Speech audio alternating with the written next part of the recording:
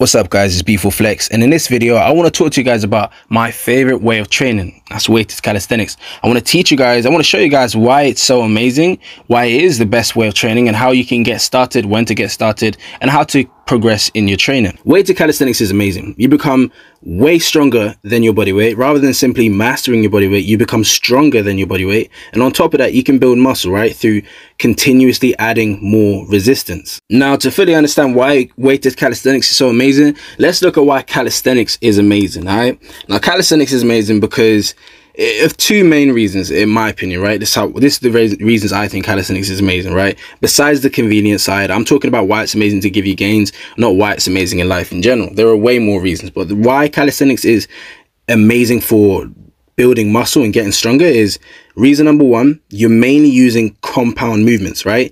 Basic compound movements. You're not messing around doing isolation exercises, wasteful exercises. Rather, you're continuously training the basics. And this is very important when it comes to building muscle and getting stronger. You see, when you're lifting weights, like even if you look at my biceps, guys, if you look, if you notice my biceps, I've got quite good biceps. Even my triceps looks very look very good. However, I don't do bicep curls or tricep extensions. I simply train compound movements and they get hit when I do those movements. You see, this is what's amazing about, calisthenics and because of doing compound movements, your body ends up being well rounded. You don't end up looking unbalanced. The second reason calisthenics is amazing is because it stops you from becoming complacent or content where you're at.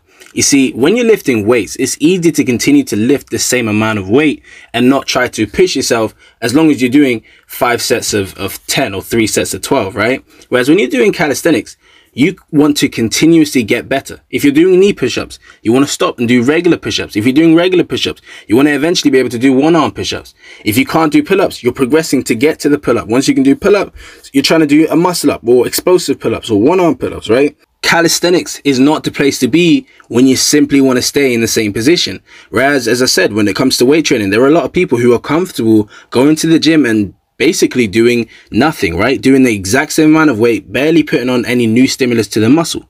Now, of course, using only calisthenics and only your body weight, like stopping at only your body weight and not adding any external weight has its limits. There's only so much resistance you can use. There's only so much you can leverage your body. And also it's hard to get stronger without using external weight to help you get stronger.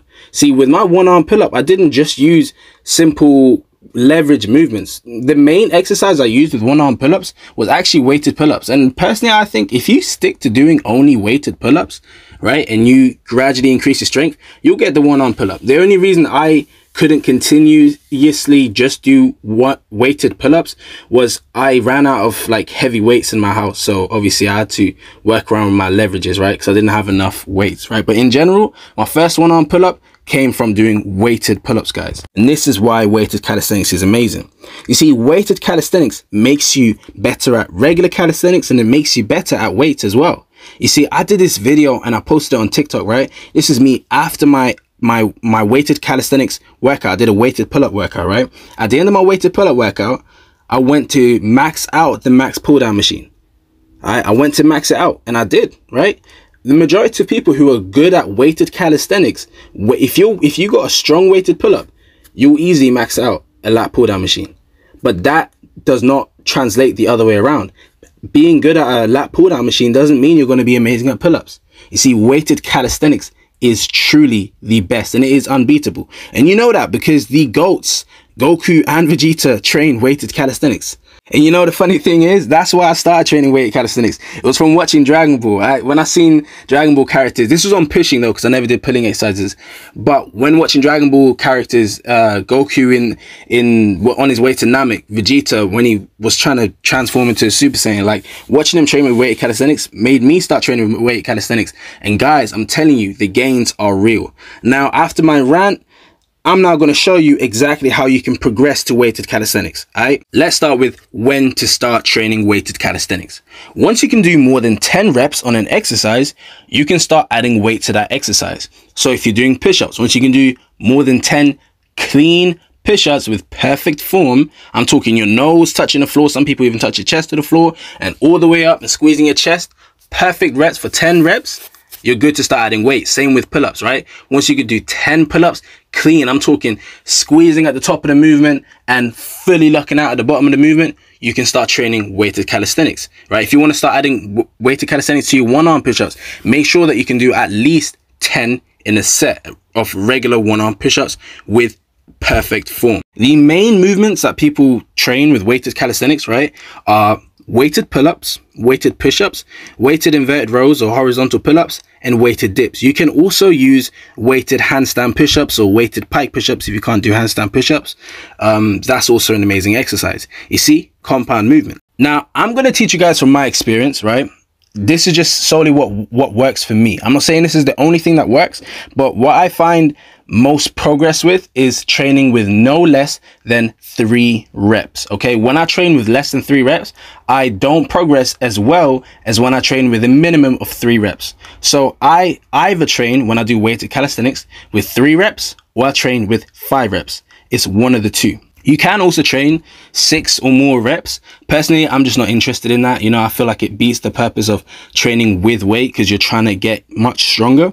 So yeah, that's how I like to train. I like to, I like to start off with three hard sets, right? Doing something close to my three rep max. Sometimes it could be a four rep max, but more time it's a three rep max for three hard sets. And then I do three easier sets with something lighter, like a five rep max. You see, when you train with weighted calisthenics, you're more likely to experience myofibrillar hypertrophy. Okay. You see, there's two types of hypertrophy, myofibrillar and sarcoplasmic. One of them is the stronger, more dense form of muscle, and the other one is the bigger, softer kind of muscle. They are fairly related, and more time you will tap into both forms of hypertrophy. But when you are training weight calisthenics, you're more likely to get the stronger, denser version, right? The myofibrillar hypertrophy.